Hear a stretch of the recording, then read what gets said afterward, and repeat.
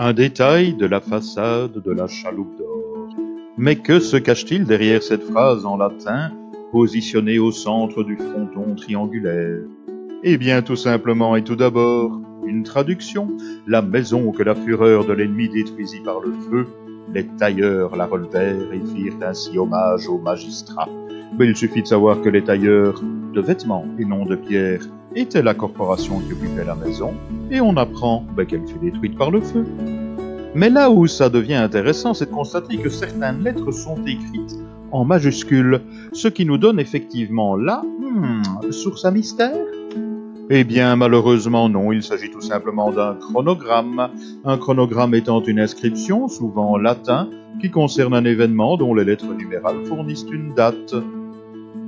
Et lorsqu'on isole donc chacun des composants numérales de cette phrase en latin, qu'on les remet dans l'ordre, on obtient une date effectivement 1697.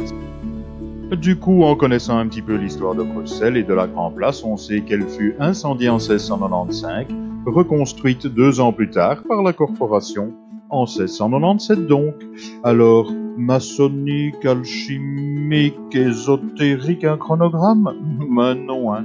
Enfin, quoique... Et si vous souhaitez en savoir plus ou en découvrir davantage, rendez-vous sur un de mes sites.